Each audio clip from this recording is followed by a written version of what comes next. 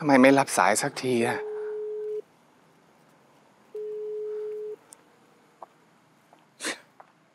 พี่โทรบอกเธอแล้วใช่ไหม ว่าไม่ต้องกลับมากรุงเทพ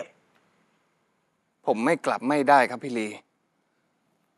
ชาเขาหายไปจากบ้านหลังนี้ทั้งคนเนี่ย ผมก็พยายามที่จะโทรหาเขาตั้งหลายครั้งแล้วเขาไม่รับสายอะ ผมไม่รู้ครับ ผมจะอยู่จนกว่าจะตามหาชาเจอ ก็พี่ก็บอกเธอแล้วไง ว่าเมียเธอไม่ได้หายไปไหนหรอก เขาก็แค่เรียกร้องความสนใจ เดี๋ยวถึงเวลาก็กลับมา นี่ไม่ใช่ครั้งแรกนะ ที่เมียเธอหายไป เมื่อไหร่เธอจะตามเมียเธอทันสักทีฮากิดา